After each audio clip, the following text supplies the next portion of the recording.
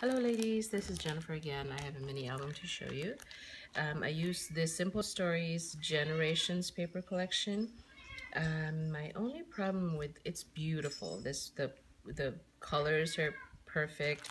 It's just that there's not a lot of papers that you can use as base pages. Almost like majority of the paper is for cutouts to embellish the pages. I'm going to show you in the mini album. Here it is. I used um, the Joann's. I, I bought this three ring binder at Joann's a while back. Um, it's kraft colored as you can see over there. I'm going to put a title. This is the front um, of the book, of the mini album. I'm going to put a title here. When I have my photos, there's the spine and there's the back. Um, here's the first page.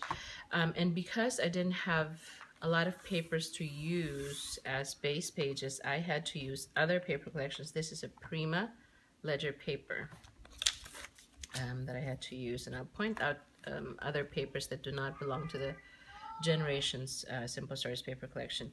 Um, this is a paper bag album. It's, it's bigger than your usual paper bag album. I got it at work.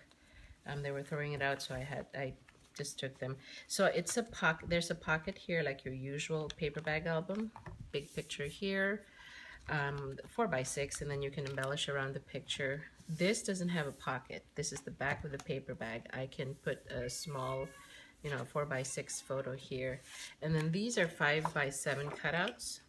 So when I have pictures, I'll know what to do with these, whether it be journaling, journaling um, spots or uh, photo mats. Another pocket and each uh, page has an insert. So like that.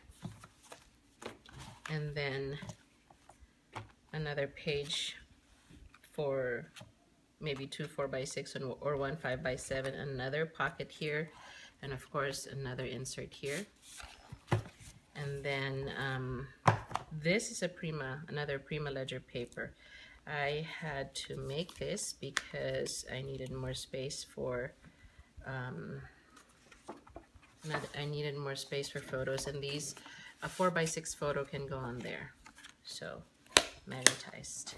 So there are a lot of cutouts um, and then another uh, pocket.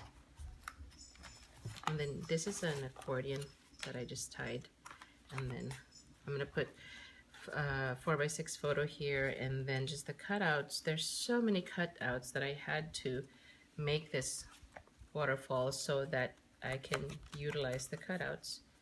But beautiful paper.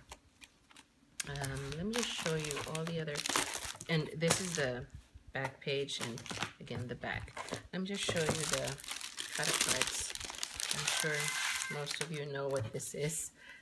This is like a three by four and these are the vertical um, cutouts vertical cutouts. So I group them into verticals and horizontals. I used the horizontals already horizontal cutouts. These are journaling spots and I group them too. So and then um, here are some more cutouts. See?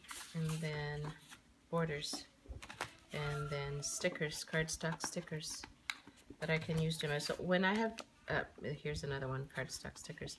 Um, when I have photos, when I have the photos that I want to put in this album, I'll just use all of these cutouts to embellish. And then this is like an overlay. It's a group of overlay. So like this. Okay, here we go. That's it. Thank you, ladies. Bye-bye.